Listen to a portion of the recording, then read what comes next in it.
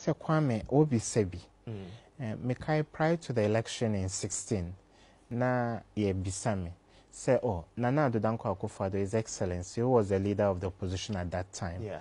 aban ɛma no police officers four. Okay. na bɛdi akyire aban ɛma no two. Nti there would be six police officers to take care of the opposition high ranking people.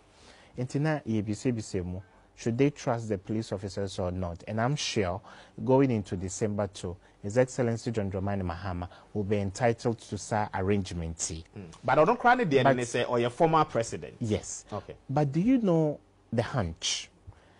The point is that four and now two are ye and now six in all are ye, you know. Mm. The opposition leaders have the right to decide Kwame Namepe and Andy. Okay. So you have the choice.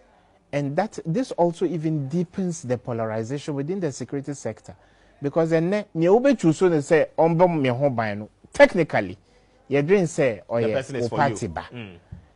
nti that policy a woka ho asɛm anaa working document anaa framework no i believe that is something the national peace council can look at and otumfo osei tutu has played a critical role in the past three or four elections in the republic of ghana that undertaking the commitment to peace, a ɔma ah, mm. flag bearers you know, no ɛsign no and also boa but how can we build on the momentum ɛbɛyɛ there will be a framework that will be binding on all political parties, whether they are incumbent or in the, they are in opposition. Mm. So I believe it's a discussion we need to have.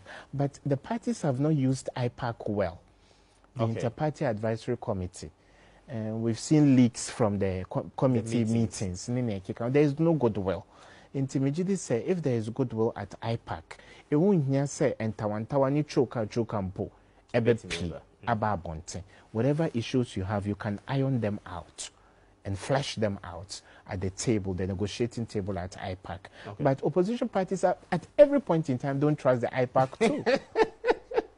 Nti Kwame, we need to work on the confidence deficit Okay. in the mainstream and uh, the establishment. Send a bit me solve this problem. But for me, vigilantes are overhyped. Those groups are overhyped. Overhyped. Okay. One district police command can deal with them if there is the goodwill and then there is the commitment from the politicians. Okay.